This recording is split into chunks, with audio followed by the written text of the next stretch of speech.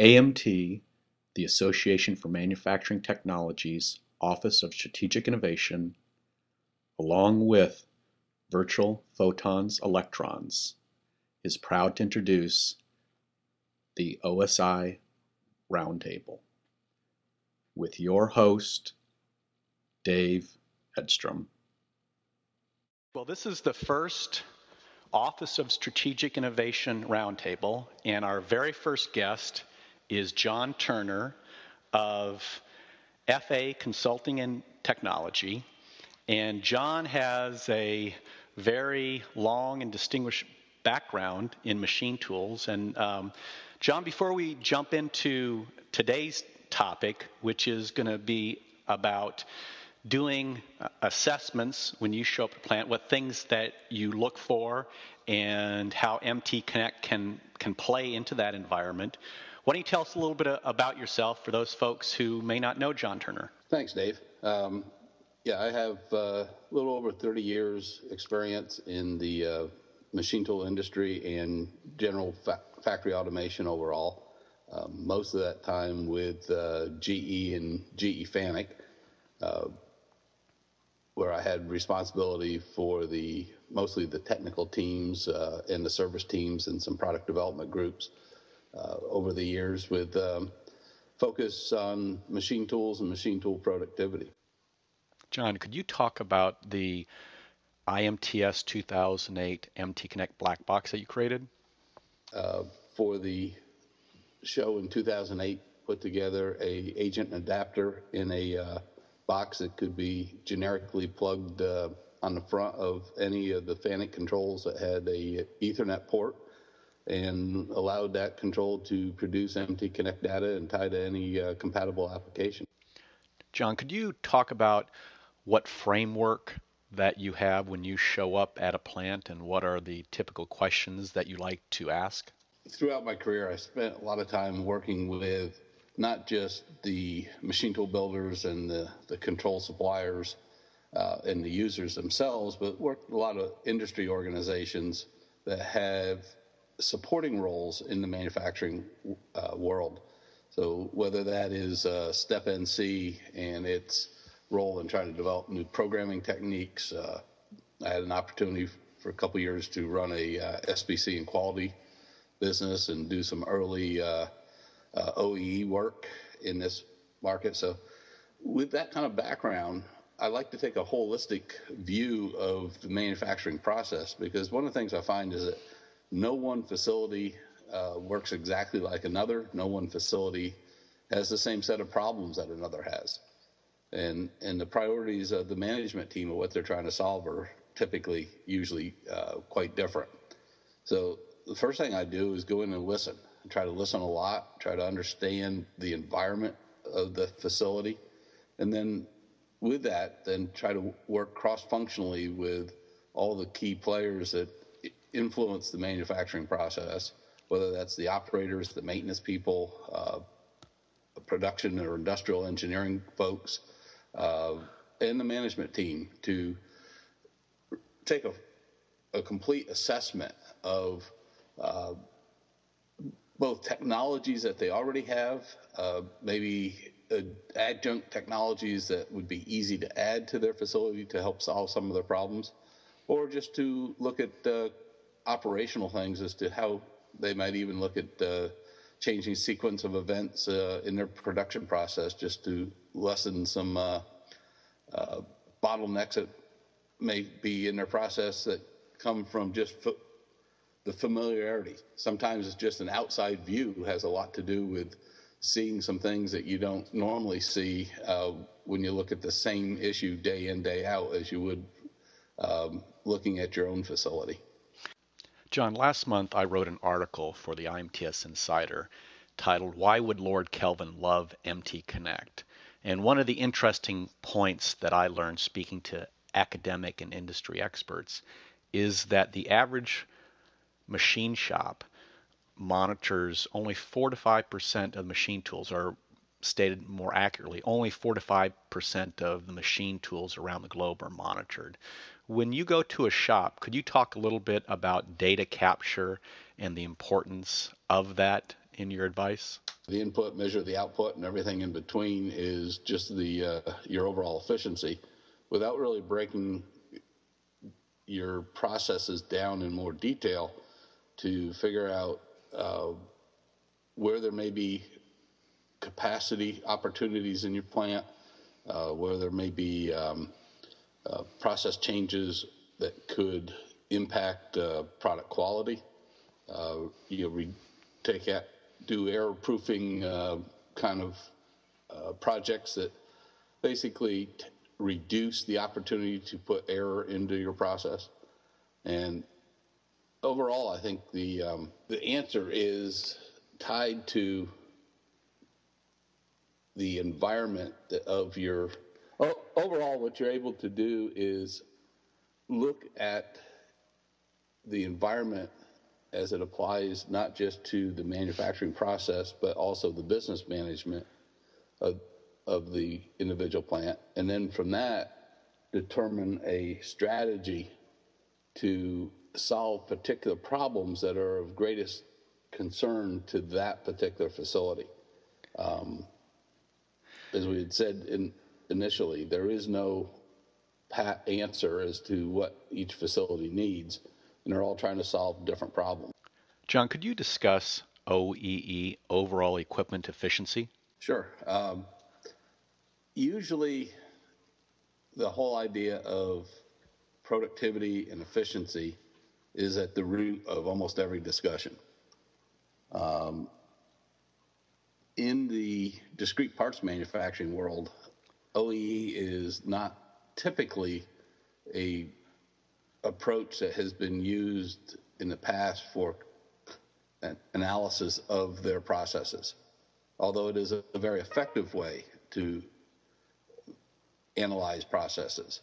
Um, usually the question starts out, uh, I need, I'm trying to assess whether or not I need to buy new equipment or I've got a problem, I can't get a enough parts off this particular production line or a bottleneck at a certain part in their production.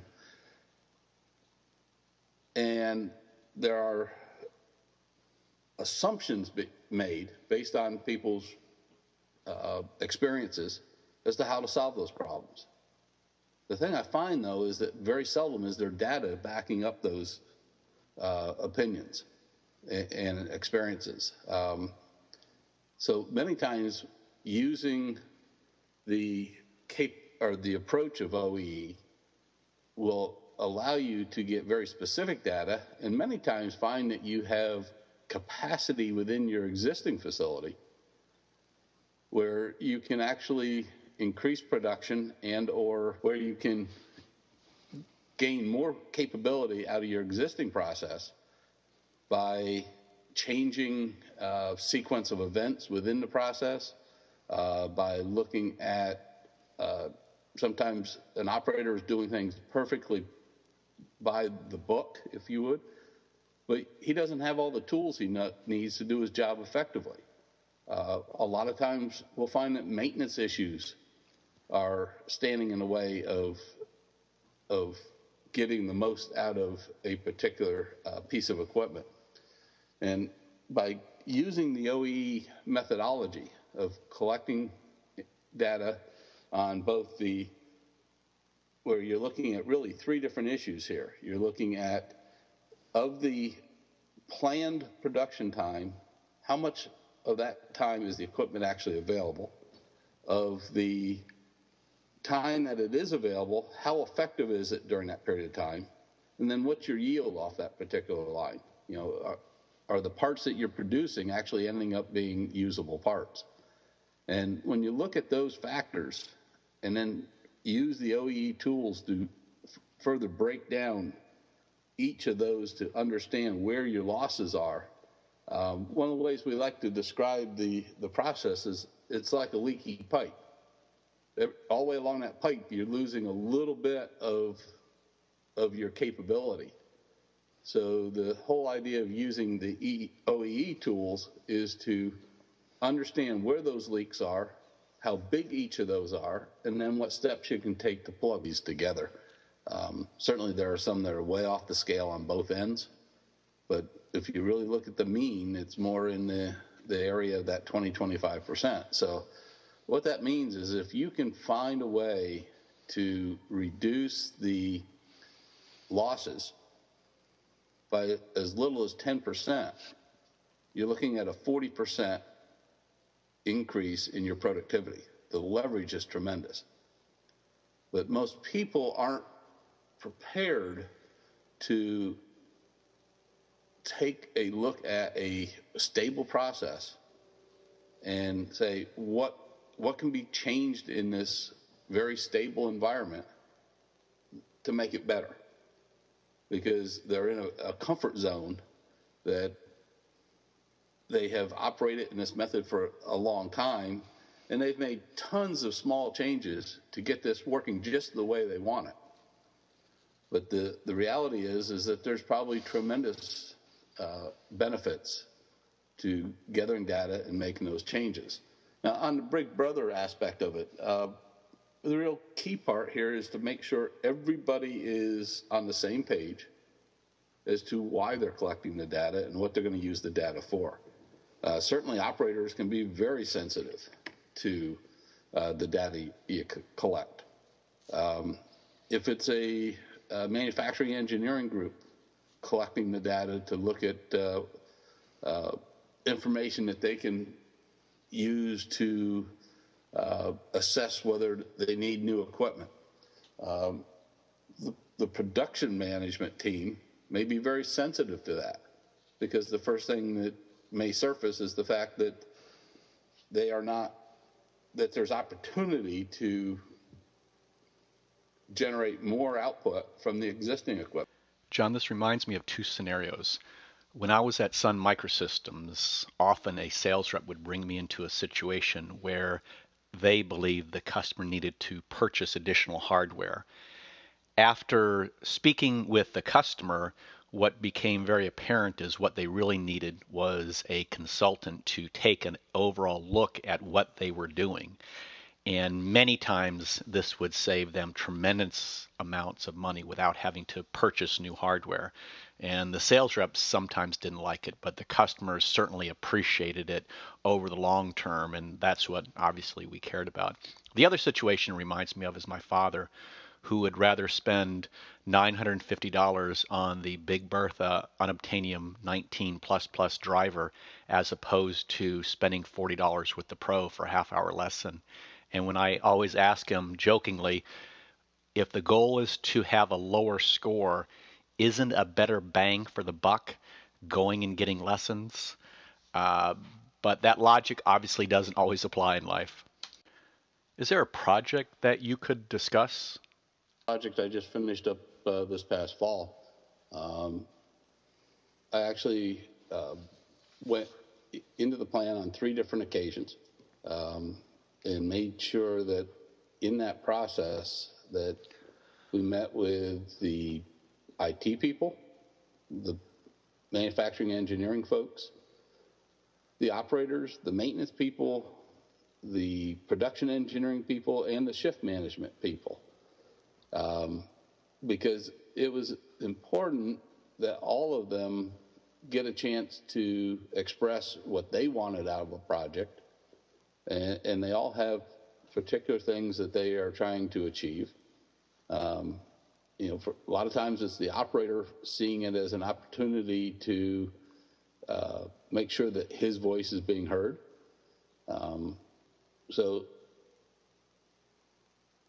making sure that, or, or reaching out and bringing all these people together and and making sure that their particular interests are all addressed in the overall scope of the project helps to bring a environment together that is one of cooperation instead of uh, fear and potentially even finger pointing that come out of projects. If you don't bring a broad group of people together because um, the original comment about Big Brother, there's always that fear when you have only part of the team involved in a discussion or involved in a project.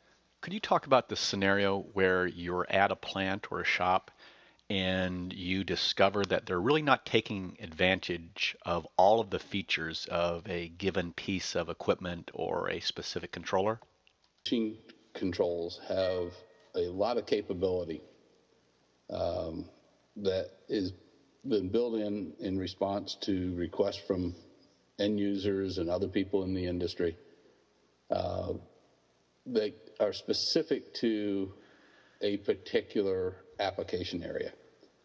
But many times they're broadly applicable to lots of different applications. So if you think of the flow of a controller uh, through its life cycle, uh, it goes from the control manufacturer to a machine builder. Machine builder adds his pieces to it that are important to uh, run his particular machine. And he he then passes it on maybe through a distribution channel of some sort who uh, starts to bring some of the process pieces into the solution that's eventually installed on a user's floor. Well, all along that process, the pieces that get added are those that are important to the people at those steps in the process. So when um, you know a machine builder is really focused on getting the most out of his machine, but he may not be focused at all on the uh, the maintainability of that machine um, or some of the uh, features that might be of a lot of interest to a user, but have in how he would maintain or support that machine, but may not have incremental value to the builder. So often there are features then that are buried in that machine that are not used or, or have not been activated. So what I do is try to work with the, the end user to identify the capabilities both in his machine and the ability to, to interface to other process equipment around the machine that help improve his process. Um, one recent example included uh, using a maintenance feature in a in a control that allows uh, to track different parts of the machine as to when preventive maintenance features or functions are needed on it, so that there was a you were actually doing your PM planning based on the results of the process instead of a ca- calendar uh, being checked off back in a system, back in an office someplace. Um, another example uh, is where uh, you know quality data was being collected and manually uh, put on a piece of paper that's shipped along with the parts. When the quality system actually had a uh, communication capability where that data could be collected automatically. Um, but that feature had never been implemented and wasn't even known by the user as being a feature of the of their own quality system.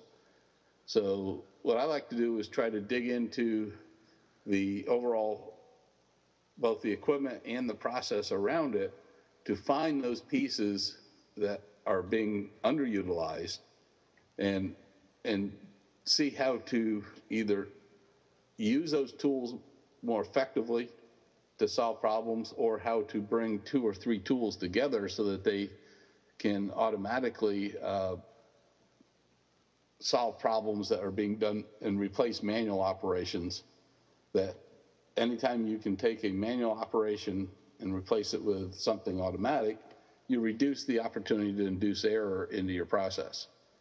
And that usually means better parts and more parts when you are at a plant and, and you've gone through and, and you've, you've had the meetings, uh, you, you've gathered data, um, and you've talked to all the different individuals, and they really want to make a, a lasting change. So they are interested in, uh, let's say, monitoring, uh, gathering that data, uh, and continue to have a feedback system when you start talking to them uh, about different types of monitoring uh, strategies, and let's say they have a variety of, equipment, can you sort of take me through uh, the conversations that you're um, having with, with individuals, and, and what are the the different areas that you're bringing up to them that they should really consider going forward, essentially getting getting that data off the different manufacturing uh, equipment? One of the things that ends up killing many projects and, and why projects don't get off the ground and move forward, particularly in the area of data collection, is that usually the scope of the project grows too big. So that it becomes a major uh, investment and a major effort to get a project started. So what I try to do is work with the customer to identify a starting point, a small point that uh, addresses one piece of their problem so that they can begin the process of collecting data in a simplistic way without uh, the investment and the resource commitment that would go on or be required uh, to to tackle the entire problem at one time. So by taking an incremental approach, it allows the customer to gain information, gain experience, and, and gain benefits for one problem. And then using that experience, then expand his application to address other problems. And, and this is one of the areas why I think MT Connect is so important to, to the marketplace is that in the traditional communication systems uh, that have been used in plants uh, for years, every time you change an application, every time you add a second or third application, you basically have to repeat a lot of the engineering work that you do the first did the first time. So your costs of upgrading and maintaining an application are pretty high. With MT Connect, basically we define the data at the machine so that it can be used commonly by all applications. What that allows us to do is to take this incremental approach, um, start out with an application maybe looking at um, uh, just the the usage of resources on a machine that's used for preventive maintenance scheduling. And then turn around and as soon as we get that running stable, look at adding some other application that's using exactly the same data, but then is looking at spindle utilization and overall efficiency on the machine. And it becomes very easy to do this using MT Connect since we don't have to redefine the data each time because MT Connect produces that data uh, in a format that is usable by each of the applications. Um, and in its standard format, that data is in the context of the machine and the process so that the um, adaptation of it to different uses becomes very easy. Could you talk a little bit about what happens after you leave a customer and what are the typical next steps? If we can get a well defined and controlled scope project, implement it, and showing results. Uh, you know, there's nothing in any environment that will generate excitement and and draw people into projects like success. So the, the real key is to to get the project, implement it, get the start showing some benefits, and then usually the first the next set of responses you see is other people saying, you know, if I could get, if I could only do they, you know, and they start building their own momentum on top of uh, the existing uh, project. So the project kind of takes on a, a, life of its own once people start to see that there there are benefits and that it can be implemented in a way that um, it can help them in their day-to-day job. Um, you know, going back to your point on MTConnect uh, and why, and some of the things why it's different from some of the sales pitches you've seen on other uh, technologies.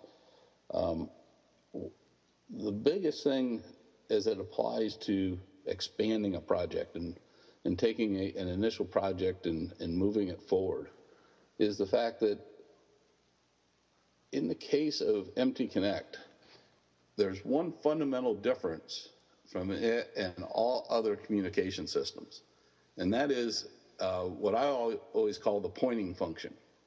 Because um, there's really three parts to communication. It's how, how do you move the data from one device to another? What does the data mean? And then the hardest part, and where all the engineering goes in and all the maintenance costs go in on applications, is what is this pointing function? Where is that data in the device that I'm trying to get it from? And MT Connect moves that function from the application down to the device. So basically, at the device, we identify that data once, and it's used by all the different applications. So once we get one application, we move on to a second or a third application that's solving a different problem. The data is already predefined for us. In a historical way of doing it, and what's always stopped projects from moving forward in the past is once I solve one problem, the second I tried to solve a second problem, I had to go back and recreate much of the work I did solving the first problem because I still then had to go back, take my new application, and redefine it to uh, gather much of the same data I did in the first place. With MT Connect, since the definition of the data is now moved to the device, all those costs associated with going back and rediscovering that data are eliminated. And that's one of the things that allows these projects to move in an incremental way is that the, the cost of moving from step one to step two to step three is greatly reduced. Thanks, John. That was great. As we are coming up to the end of our first Office of Strategic Innovation Roundtable, would you mind taking just a little bit of time to tell us more about your company, FA Consulting and Technology, and exactly what you guys do? Okay, sure, Dave. Um, basically, uh, when the GE and Fanuc uh, joint venture separated uh, at the end of uh, 2009. Um, I had the opportunity to take on something I've always wanted to do for a long time, and that was to uh, take my experiences and my skills and, and, and really go out and work with companies to help them improve their own processes. So, so that's what I've done. Um, I've had uh, great opportunity to work with a number of fine companies just in the last year. Um, but basically, um, everything I am focused on is shop floor productivity. So whatever it takes to look at shop floor productivity, whether it's process changes, whether it is people issues and training issues, whether it is equipment utilization. Um, I try to as I said, take a holistic look at that. Um, and then, in addition to that, I've had the opportunity to work close with the MT Connect Institute and help work with a lot of the working groups that are trying to expand the standard. And at the same time, I'm trying to stay close to other industry initiatives so that I can bring technologies from a wide, uh, wide view to a production facility and uh, share experiences with them that their own people haven't had the opportunity to get out and and interface sometimes to the, the broader industry that you know I can bring those experiences help them move a step forward and then um, turn them loose and let them uh, uh, grow and prosper on their own and um, it's been a, uh, a a tool that's or a process and a tool set of tools that seem to work really well and um, we've had some uh, pretty successful uh, efforts here in the first uh, year and a half, and um, looking forward to working with lots of lots of companies on the same basis uh, as we go forward. How can folks reach you, John? Where are you located? Yeah, I'm located in Charlottesville, Virginia.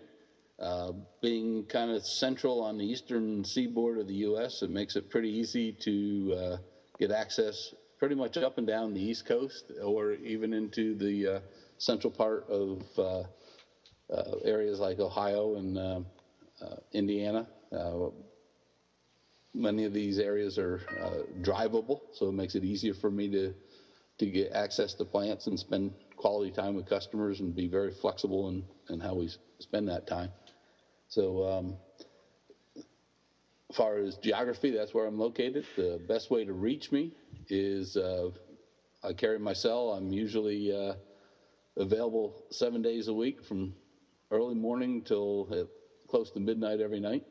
Uh, I guess that's one of the advantages of running your own business. That you're never away from it. Uh, and that is 434 987 4430. Or you can drop me an email at john at Rivanna Gear, that's R I V A N N A G E A R dot com. Well, great, John. Um, I really appreciate you taking time out of your schedule to go through and to share with us exactly what, what you do when you show up and you are doing an assessment, you know, what type questions that you're asking, who you're meeting with, um, what the, the type things that you're seeing. And then, of course, as the president, chairman of the board at MTConnect Institute, I always love it when somebody mentions MTConnect. So thanks a lot, John.